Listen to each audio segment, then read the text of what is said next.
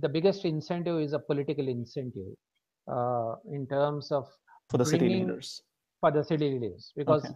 uh, you know it's uh, the waste is all over and then now it is uh, treated contained. So there is they can showcase that during their leadership during their tenure they could really fix the problem in a very short span of time.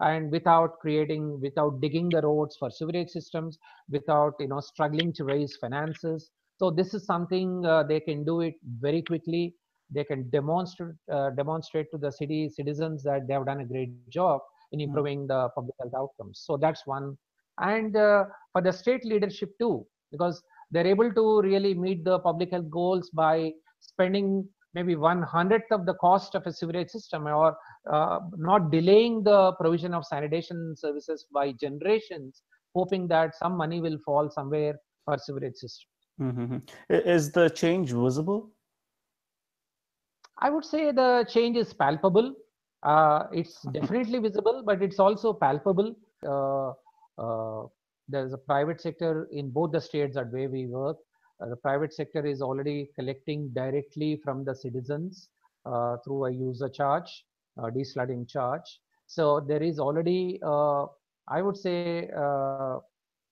there's no choice, so citizens pay. So of course there is set of competition. The best part is that uh, the price point may come down because of the regulation and because of the increased market for the private operator. So that's uh, that's one thing where we are negotiating with the private operators to reduce the price because of the competition that we bring in. We're also bringing on the lines of Senegal bidding process. Citizens uh, will get uh, information about multiple service providers and they can negotiate price with them. So there are different, uh, this is a work in progress. So to answer your question, yes, there is a willingness to pay. The question is how about willingness to pay for the incremental cost for treatment? Right now there is only for desludging.